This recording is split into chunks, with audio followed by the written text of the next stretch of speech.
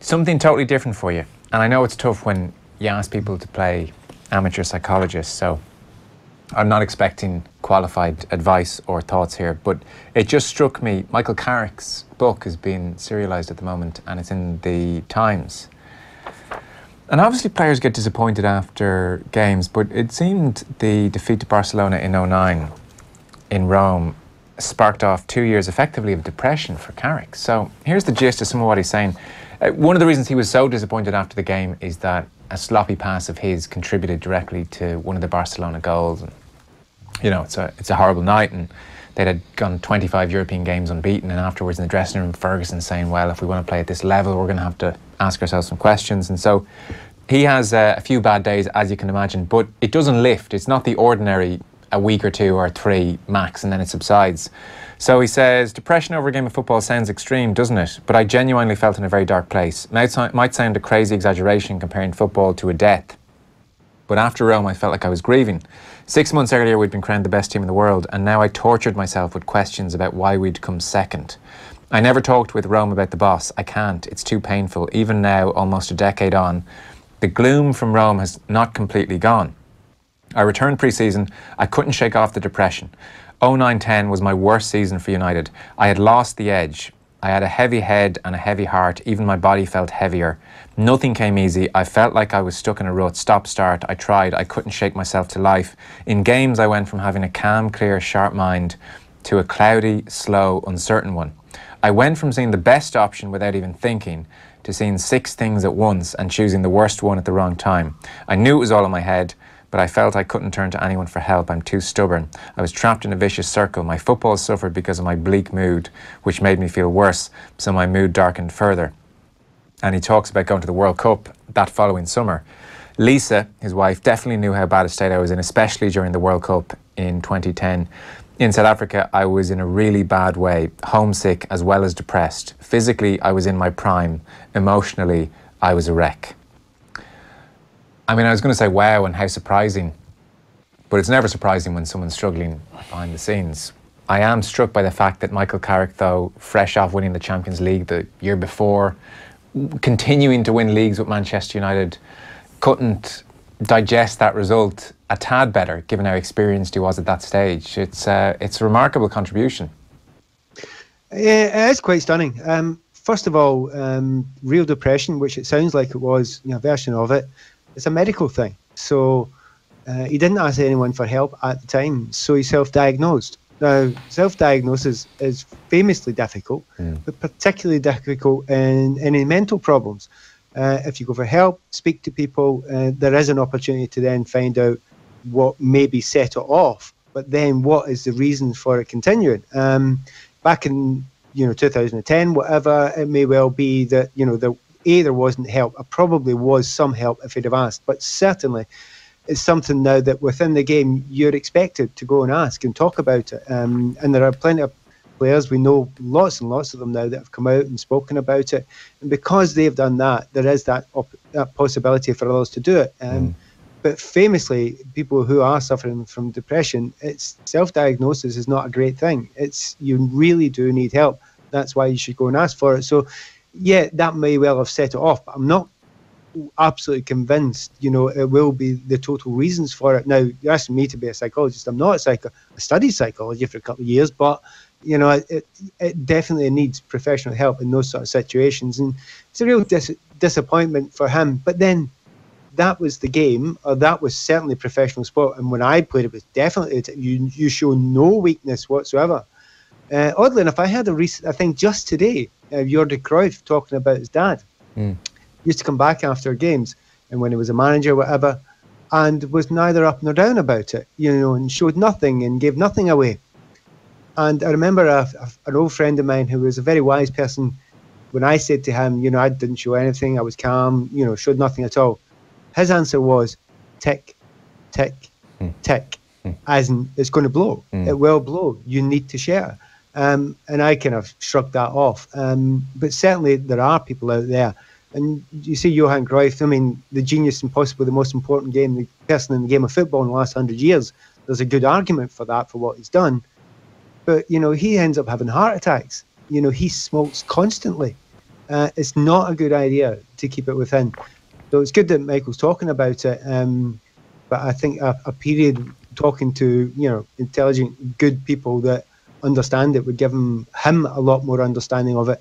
And what it says now, which is the reason why he's talking about it, is if you are another player suffering from that, go and talk about. Listen to people like Neil Lennon who have gone through it. They'll say exactly that.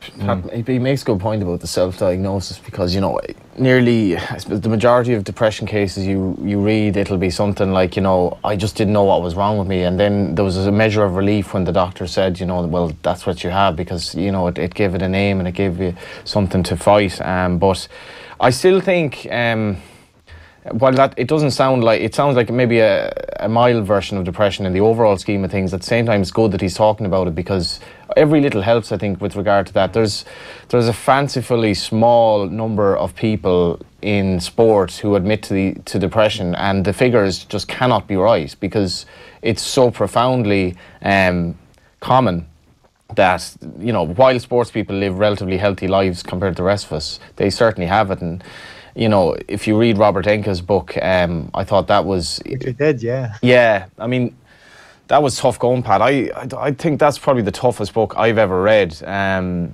because it didn't end happily. There was no Hollywood ending there, and you know, he spoke about. He, he used to have write a little diary, and um, towards the end, he did. He was very well. He was doing very well if he could put two or three words together in a week. You know, he was just. And there was a, there was an iconic photo of him in um, Istanbul um, after he'd, I think he signed for Galatasaray, but he was in a very bad way at the time. And I remember that photo because um, it was in the book and the torture in his face, you could just see it.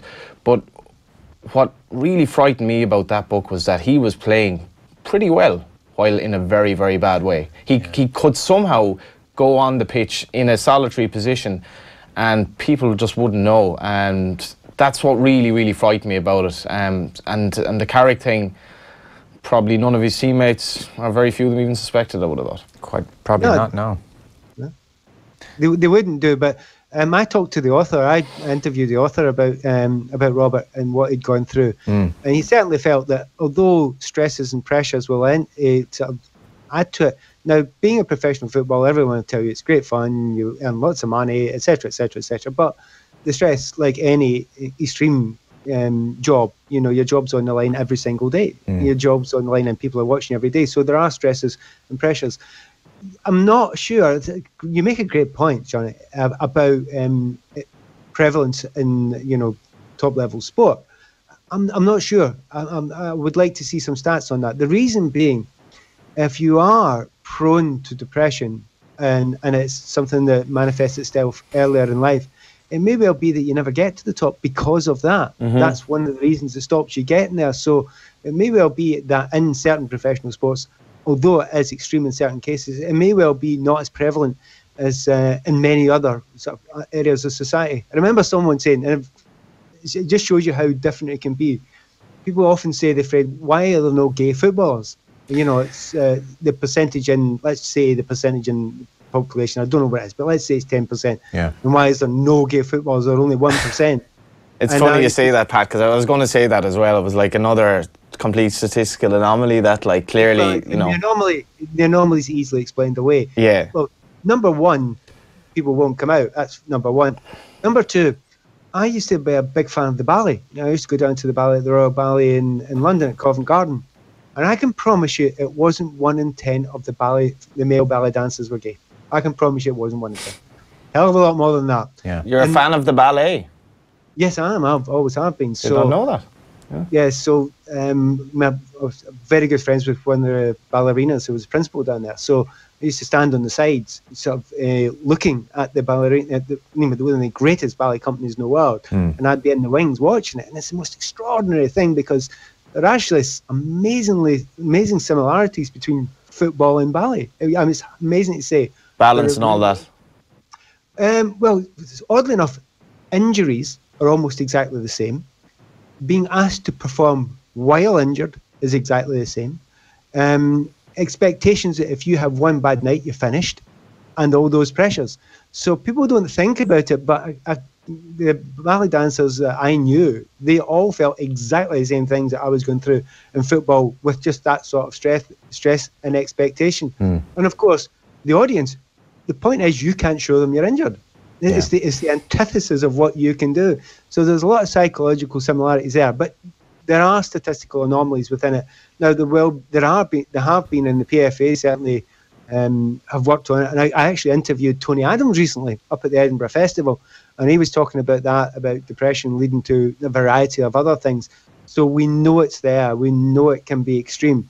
And the, the fact that you're in an industry where you're expected to show weak, no weakness does not help. And the, the point you were going to make about the anomalies with ballet and football is, frankly, football is not a very welcoming place. So you spot pretty quickly that homophobic slurs are commonplace, and maybe you go somewhere where they're not. That's the, the point you were making before we interrupted. That, that's one of Yeah. the points. Is definitely one of the points. You, you go to where you would feel more comfortable, um, and that would certainly be the case. Uh, to be honest, to underline this one thing, that another anomaly, I would suggest, first gay player that comes out, he'll be fine within the game. It'll be absolutely okay. Not Yeah. sure it'll be the same in the media or net. Well, I think it will be okay in the media, on the terraces and online.